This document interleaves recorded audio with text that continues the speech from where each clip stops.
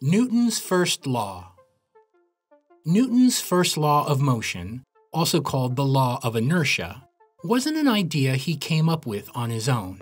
He had been thinking about the experiments of another scientist named Galileo, and then added his own ideas. In his writings, Newton concluded that an object that's not moving or still will remain still, or an object moving or in motion will remain in motion, both in a straight line and at a constant speed, unless another force acts upon it. Consider this. The ground and this ball are both still or motionless.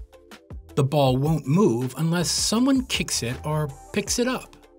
It moves because a force is applied that changes its state. It goes from being still to being in motion. According to Newton's first law, the ball should continue to roll without stopping. But at some point, it does stop. This happens because the foot's push isn't the only force acting on the ball.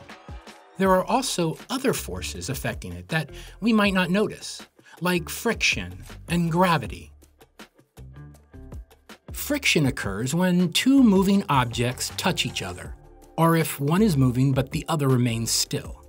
It's an opposing force that affects the motion of things. Let's go back to our example. While the ball's rolling, it's rubbing against the grass.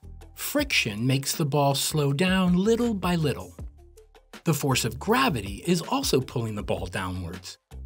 Both of these factors affect the ball's movement. When the ball stays still, it's because all of the forces are equal. But when it gets kicked, this greater force causes the ball to move. If gravity and friction weren't there, the ball would keep moving forever, like a rocket in space. That's because of Galileo's concept of inertia.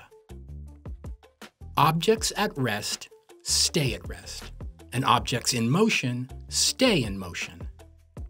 Newton confirmed this idea. Objects move in the same direction and at a constant speed unless acted on by a force. Hopefully this video has given you a good sense of the first law of motion.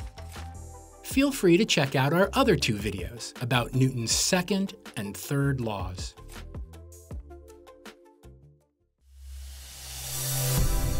GCF Global, creating opportunities for a better life.